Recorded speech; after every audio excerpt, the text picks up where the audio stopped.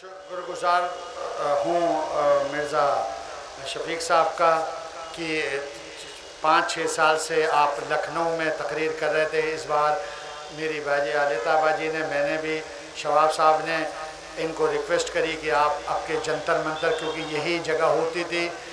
بس جگہ تھوڑی چینج ہوئی، پہلے ادھر، یہیں یاسوب عباس میرے ساتھ رہتے تھے۔ اب ان کو ہم نے کہا کہ آپ الگ کریں۔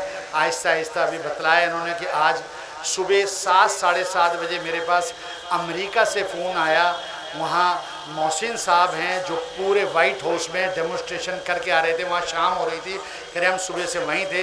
چھمن بھائی آج دعا کر رہے ہیں کہ آپ لوگوں کا بھی کامیاب ہو۔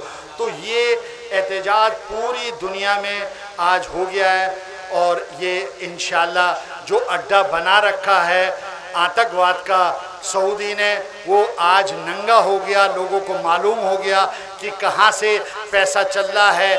وہ روزے امام حسین کا ہو، حضرت علی کا ہو، عراق کے جتنے روزے ہیں، سیریا میں جناب زینب کا، جناب سکینہ کا، جس طریقے سے یہ سعودی وہاں سے پروڈکٹ کر کے آتکواد کو بھیج رہا ہے، اس چیز کو وہ کام کر رہا ہے۔ یہاں ہم اور آپ سب اس کو ننگا کر رہے ہیں۔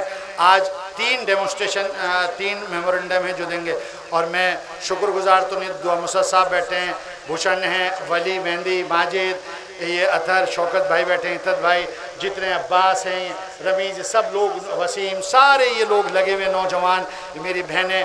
میں نے بار بار اسی کو کہا کہ اس کا عذر میں نہیں دینے کا، صرف اگر نیت صحیح ہے اور یقین ہے تو امام زمانہ دیکھ رہے ہیں، بی بی زہرہ اسکر دیں گی۔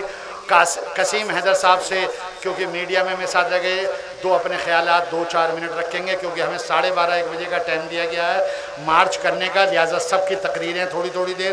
ان کے بعد ہماری عالیہ بہن بھی بولیں گی، ذاکرہ۔ ہمیں یہاں پارلیمنٹ تلک جانا ہے، وہاں ہم نے میمورنڈم پولیس کو دینا ہے۔ جی، بسم اللہ الرحمن الرحیم۔ برادران ملت، السلام علیکم۔ ڈیس پہ تشریف علماء کرام اور حاضرین۔ میں کوئی تقریر کرنے آپ کے سامنے بالکل حاضر نہیں ہوا ہوں۔ بہت سارے لوگ ماشاءاللہ بیٹھے ہیں یہاں پر جو آپ کو واقعات بنائیں گے۔ لیکن میری چھمن بھائی سے پچھلے تین چار سال سے یہ سلسلہ جس میں آج ہم یہ احتجاج کے طریقے طور پر بیٹھے ہیں، چل رہا ہے۔ کہیں نہ کہیں کوئی نہ کوئی ہمارے نظام میں میں محسوس کر رہا ہوں کہ اس کے مینجمنٹ میں کوئی نہ کوئی کمی محسوس ہو رہی ہے مجھے۔ لیکن اس سال ہم نے وہ بھی انشاءاللہ طے کر لیا ہے کہ آئندہ آنے والے پانچ سال میں اس ایجوکیشن کو اتنا بڑھائیں گے، اتنا بڑھائیں گے کہ انشاءاللہ اسی پانچ سال کا جو آخری سال ہوگا، وہ سعودی حکومت مجبور ہو جائے گی جنت البقی میں تعمیر کرنے کے لیے۔ تو یہ ڈسکلوز نہیں کر رہا ہوں میں آپ کو، صرف آپ کو اطلاع کر رہا ہوں کہ منہ سے نکلی ہوئی بات فرائی ہوتی ہے۔ اور یہ تو نزدی ہے نزدی جو حکومت کر رہے ہیں۔ ان کے لیے تو رسول نے دعا بھی نہیں کی۔ انہوں نے درخواست کی کہ دعا کر دیجیے، مگر نہیں کی، رسول نے منع کر دیا۔ اور اس کا وجہ بتائی کہ کیوں نہیں کر رہا ہوں دعا؟ تین دفعہ نزدیوں نے کہا کہ دعا کر دیجیے ہمارے لیے۔ کہا کہ نہیں، میں شام کے لیے دعا کرتا ہوں، میں یمن کے لیے دعا کرتا ہوں، لیکن تمہارے لیے دعا نہیں کروں گا۔ کیوں نہیں دعا کروں گا؟ اس لیے دعا نہیں کروں گا کہ ایک وقت وہ آئے گا کہ تم میں سے نوجوان نکلیں گے اور ایسے نکلیں گے جن کا حلیہ بھی بتایا اس حدیث میں، حدیث موجود ہے مسلم کے اندر۔ اہل سنت بھائی ہمارے اس کو دیکھ سکتے ہیں۔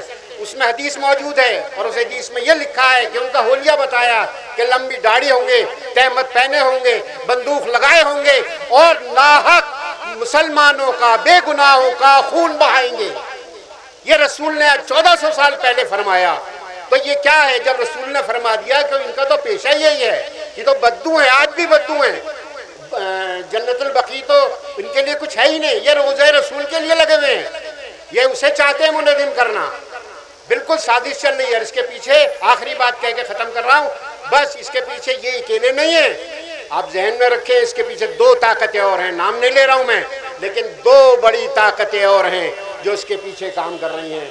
جب تک آپ ان کو بھی نہیں پکڑیں گے خالی سعودی کو دبانے سے نہیں ہونے والا کہ جس کا باپ زندہ ہو، وہ بیٹے کو دبانے سے کوئی فائدہ نہیں۔ پہلے اس کے باپ کو دبائیے، اس کے بعد بیٹے کو دبائیے، تو انشاءاللہ رزلٹ ضرور آئے گا۔ وآخر دعوانا الحمد لله رب